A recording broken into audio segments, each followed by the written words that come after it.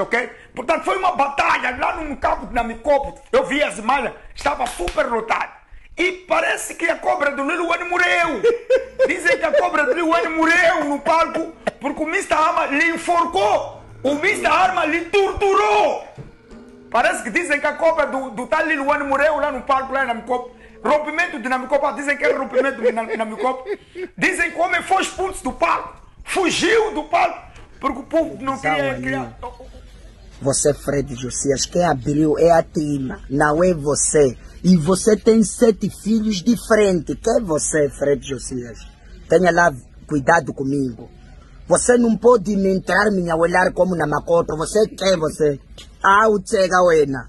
Você vive casa da Tima. Essa pita aí está a ajudar é a, a própria aquela televisão. É a dona. Não é você me atrapalhar. Até se ele lhe expulsar, você está mal.